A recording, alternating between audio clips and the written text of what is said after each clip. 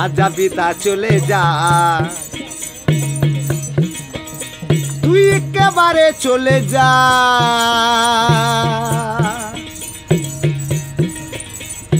মরবি তো মরে যা।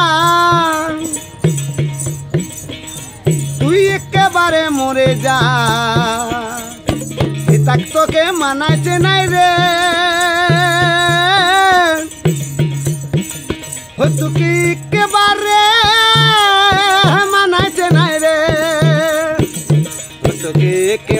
মানাইছে নাই রে? তোকে একেবারে মানাইছে নাই রে? তোকে একেবারে মানাইছে নাই রে? তোকে একেবারে মানাইছে নাই রে? গুড মর্নিং সবাইকে। Welcome to our channel our blog the wolf আজকে দ্বিতীয় দিন, আর আমরা সেজে গুজে দেখতেই পাচ্ছ। বেরিয়ে পড়েছি।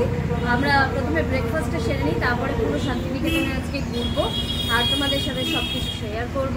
তো চলো বেশি দেরি না করে দিনটাকে স্টার্ট করা চলো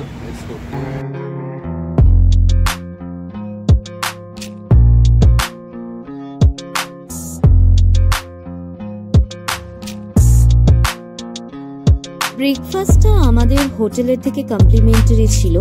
খাবারগুলো প্রচণ্ড টেস্টি ছিল আর সব থেকে যেটা ভালো লেগেছে খাবারের ভার্স্ট অপশন ছিল।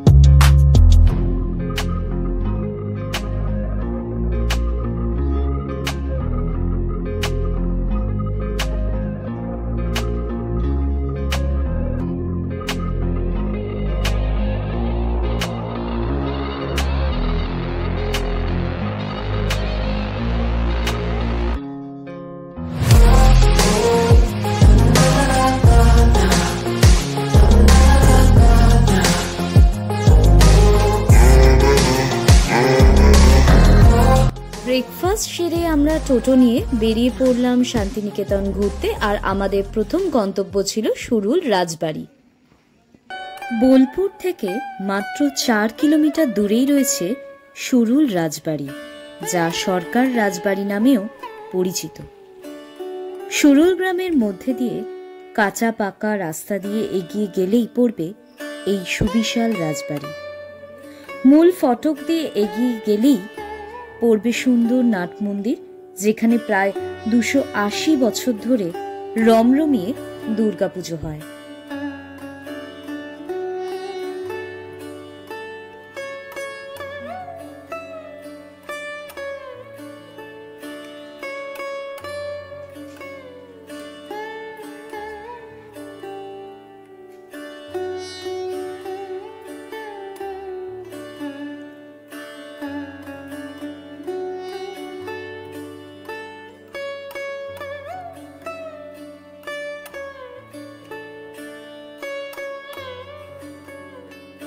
এই রাজবাড়ির নাট মন্দির সকলের জন্য খোলা থাকলেও অন্দরমহলে প্রবেশ নিষিদ্ধ।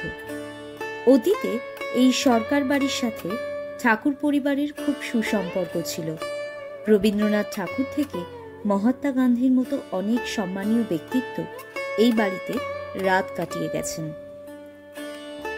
মাঝখানে এই নাট মন্দিরকে রেখে চতুষ্কোণ এই রাজবাড়ি শহরের আর পাঁচটা রাজবাড়ির থেকে মাটির গন্ধটা বেশি।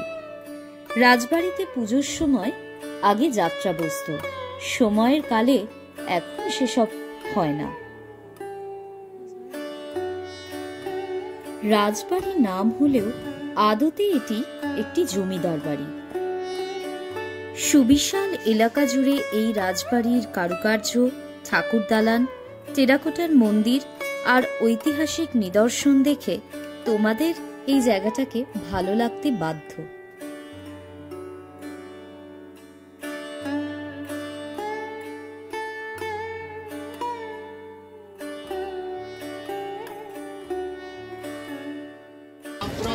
তো এখন আমরা রয়েছি কোথায় আছি? সৃজনী শিল্পগ্রাম। সৃজনী শিল্পগ্রামে। আর এখানে টিকিট লাগে। ঢুকতে। তো ঢোকার আগে এখানে প্রচণ্ড গরম, আর সেই জন্য আমি এখানে একদম টাটকা আখের রস খাচ্ছি। জেনারেলি মা বাবা আমাকে রাস্তায় আখের রস খেতে দেয় না, কিন্তু এখন খাচ্ছি, ছুট পেয়েছি, আর প্রচণ্ড গরম লেগেছে সেই জন্য। তো এটা শেষ করি, তারপর ঢুকি। বিশ্বভারতী ক্যাম্পাসের খুব কাছে এই সৃজনী শিল্পগ্রাম এখানে প্রবেশ মূল্য কুড়ি টাকা করে আর ছোটদের জন্য দশ টাকা। এখানে ভিডিওগ্রাফি আর ফটোগ্রাফির জন্য আলাদা করে চার্জ দিতে হয়। একটি গ্রামের মধ্যে রয়েছে উত্তর পূর্ব ভারতের সাতটি রাজ্যের শিল্পীদের নানা রকম শিল্পকলার সমন্বয়। আর তার সাথে রয়েছে লোকগীতি আর লোকনৃত্য।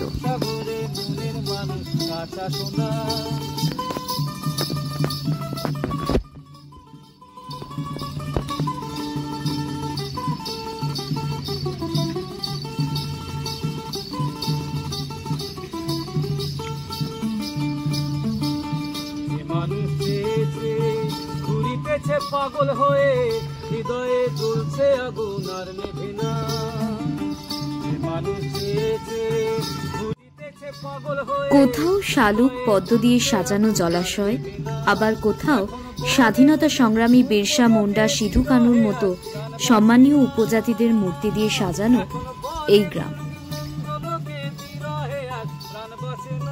দেখেছি দেখেছি রূপসাগরে মনের মানুষ পুরো জায়গা জুড়ে রয়েছে নানা রকম মূর্তি, ভাস্কর্য ও শৈল্পিক কারুকার্য, যা দেখতে দেখতে কখন সময় কেটে যাবে টেরই পাবে না।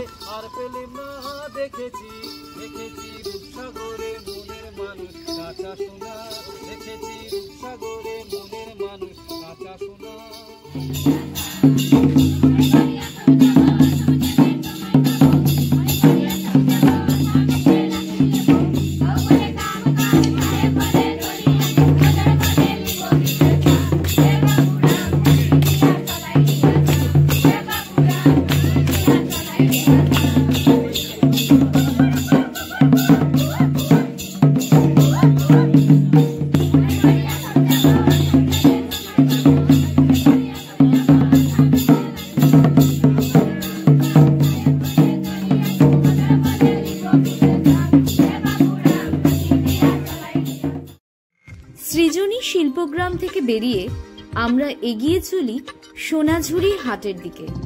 তবে প্রসঙ্গত বলে রাখি, বিশ্বভারতী ক্যাম্পাসে এখন জনসাধারণের জন্য প্রবেশ নিষিদ্ধ।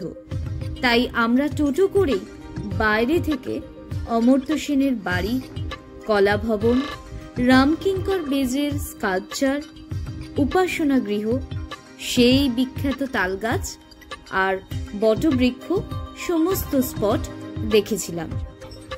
তবে বিশ্বভারতী মিউজিয়ামে টিকিট কেটে তোমরা প্রবেশ করতে পারবে।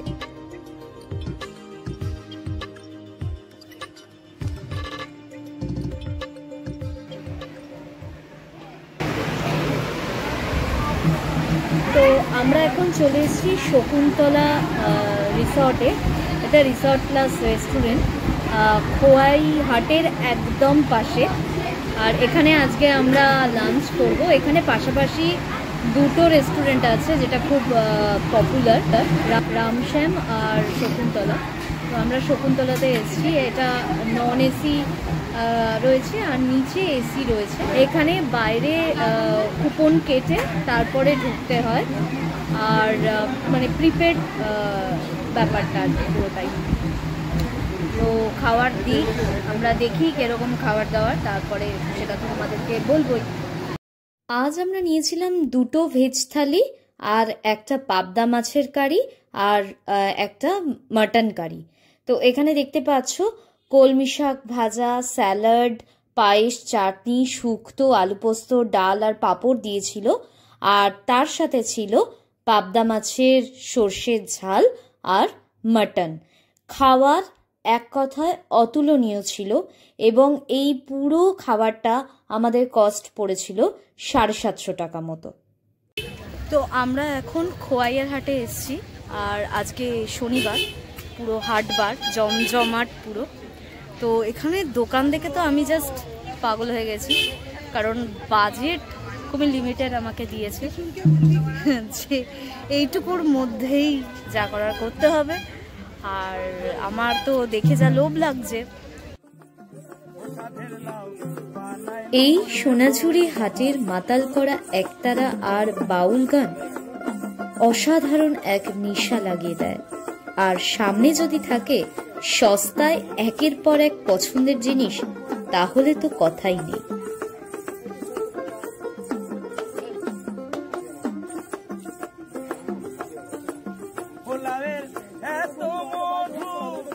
এখানে দশ টাকার ঘর সাজানোর জিনিসের থেকে কাঁথা স্টিচের শাড়ি, বেগমপুরি, সিল্কের শাড়ি, রেশমের শাড়ি, এমনকি সুন্দর সুন্দর একশো দুশো টাকার ব্যাগ আর এই পাঞ্জাবিগুলো তিনশো টাকায় পাওয়া যাচ্ছিল।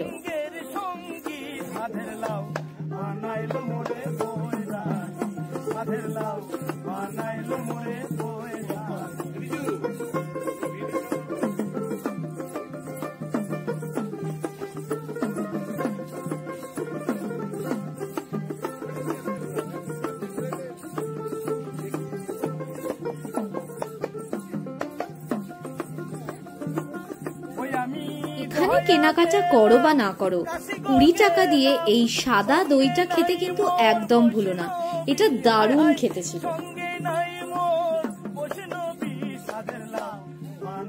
সোনাঝুরি হাটের পাশেই রয়েছে এই পলাশবনি এখানে শীতকালে জমজমিয়ে পিকনিক হয়।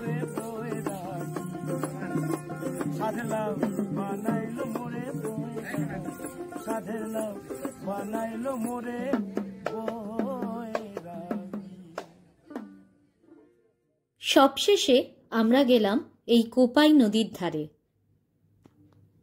এই কোপাই নদীকে নিয়েই কবিগুরু রবীন্দ্রনাথ ঠাকুর লিখেছিলেন, আমাদের ছোট নদী চলে আঁকে বাঁকে। এখানে বসে সূর্যাস্ত দেখতে খুবই ভালো লাগে, কিন্তু দুঃখের বিষয় সেদিন মেঘলা করেছিল বলে আমরা সেটি দেখতে পারিনি। এই যে, হাট থেকে এত শপিং করে এনেছি, আর প্রচণ্ড টায়ার্ড হয়ে গেছি। তো কি কি কিনলাম সেটা জানার জন্য কমেন্ট করতে হবে। কমেন্ট করো, তাহলেই দেখাবো কি কি কিনলাম। আজকে তো টায়ার্ড একটু রেস্ট নেব, আবার কাল দেখা হচ্ছে। গুড মর্নিং সবাইকে, আজকে তৃতীয় দিন, আর আজকে আমরা যাচ্ছি কঙ্কালীতলায় পুজো দিতে। আর তোমরা যারা অনেক দিন ধরে আমার ব্লগ দেখছ, তারা তো জানোই যে কোথাও পুজো দিতে গেলেই আমাদের সাথে কি ঘটে মানে বৃষ্টি হয়। তো আজকেও দেখো বাইরে বৃষ্টি পড়ছে। তো আমাদের শুধু পুজো দেওয়ার আছে আমরা পুজো দিয়ে চলে আসব বাকি তো সব কিছু কালকে ঘুরে নিয়েছি। দেখা যাক পুজোটা ঠিক করে দিতে পারি কিনা। একান্ন সতীপীঠের শেষ সতীপীঠ কঙ্কালীতলা বোলপুর থেকে মাত্র সাত কিলোমিটার দূরে অবস্থিত। এখানে মন্দিরে কোনো পাণ্ডার দৌরাত্ম্য নেই। মন্দিরে যাওয়ার পথে অনেকগুলো ডালার দোকান আছে, যেখান থেকে নিজের মন মতো পুজো সামগ্রী নেওয়া যায়। মন্দিরে ঢুকে দেখলাম মন্দির প্রাঙ্গণটা খুব সুন্দর করে সাজানো হয়েছে, আর আমরা যেতে যেতে বৃষ্টিটাও একদম থেমে গেছে।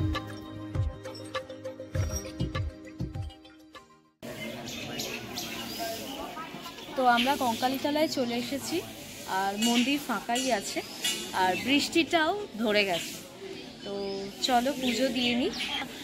একান্ন পিঠের সতীপীঠের শেষ পিঠ। এখানে মায়ের কাপড় পড়েছিল মানে কোমরের পোর্শনটা। তো চলো গিয়ে পুজো দিই। আর এখানে কোনো মূর্তি পুজো হয় না, ছবি পুজো হয়। আর এইখানে একটা বেদিতে আগে পুজো হতো। সেই বেদির তলায় বলা হয় যে একশো আটটা নরমুণ্ড রয়েছে। মূল মন্দিরের সামনে এই বিশাল নাট মন্দির করা যাতে ভক্তরা বসে বিশ্রাম করতে পারে। ভেতরে গর্ভগৃহে ঢুকে মায়ের কাছে ধীরে সুস্থে পুজো দেওয়া যায়। এখানে ঠাকুর মশাইয়ের থেকে জানলাম, মা এখানে স্বপ্নাদেশ দিয়ে জানিয়েছিলেন, তিনি নিজে সশরীরে এই মন্দিরে বিরাজমান। তাই মূর্তি পুজোর কোনো দরকার নেই। মন্দিরের পাশে এই কুণ্ডটিতে মায়ের কোমর পড়েছিল। তাই এই কুণ্ডের জলকে খুব পবিত্র বলে মনে করা হয়। আর এখানে কেউ নামে না। এই মন্দির রোজ সকাল ছটা থেকে রাত আটটা অবধি খোলা থাকে।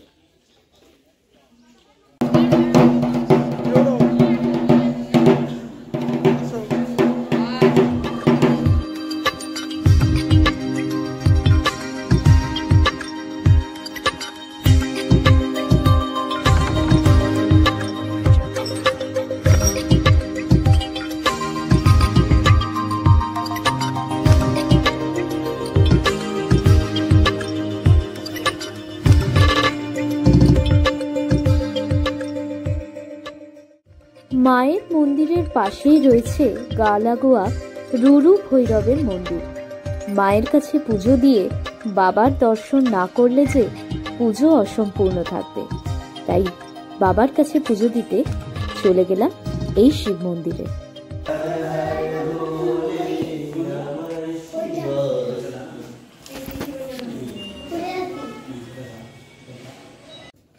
তো আমরা চলে এসেছি কঙ্কালীতলা থেকে পুজো দিয়ে, আর এখন যাব কমপ্লিমেন্টারি ব্রেকফাস্ট করতে, যেটা আমরা গতকালও করেছিলাম। আর তোমাদের একটা ছোট্ট ইনফরমেশন দিয়ে দিই, আমরা যে এই কদিন ঘুরলাম, আমরা একটা টোটো ভাড়া করে ঘুরেছিলাম। আর আজকে আমাদের কঙ্কালীতলা পুজো দিতে গিয়ে টোটো ভাড়া লেগেছে সাড়ে তিনশো টাকা। আর দ্বিতীয় দিন মানে গতকাল আমরা যে পুরো শান্তিনিকেতন ঘুরেছি, সেটাতে লেগেছে আটশো টাকা। আর প্রথম দিন মানে যেদিন আমরা রায়পুর রাজবাড়ি গেছিলাম, সেদিন আমাদের লেগেছিল সাড়ে তিনশো টাকা। কিন্তু তোমরা যদি এই পুরো ব্যাপারটাই একদিনে করো, তাহলে বারোশো টাকার মধ্যে হয়ে যাবে। আমরা একটু ধীরে সুস্থে ঘুরেছি, সেই জন্য আমাদের একটু খরচাটা বেশি পড়ে গেছে। আর এখন ব্রেকফাস্ট করব, তারপরে আমাদের দুপুরের ট্রেন আছে, শান্তিনিকেতন এক্সপ্রেস যেটা একটা দশে ছাড়ে, তো আমরা স্টেশনের উদ্দেশ্যে বেরিয়ে পড়ব। তাই ভিডিওটাকে আর বড় করছি না। আশা করি ভিডিওটা তোমাদের ভালো লেগেছে। আমাদেরও এই চটজলদি একটা হঠাৎ করে প্ল্যান হওয়া ঘোরাটা বেশ আমরা এনজয় করেছি অনেকদিন পর। আর ব্রেকও হয়ে গেছে আমাদের। এরপর পুজো চলে গেছে। এরপর যার যার কাজে গিয়ে জয়েন করতে হবে। তো আশা করি ভিডিওটা ভালো লাগল। ভিডিওটা ভালো লাগলে লাইক আর শেয়ার করে দিও। আর কমেন্ট করতে ভুলো না। চলো দেখা হচ্ছে আবার পরে ভিডিওতে। টাটা!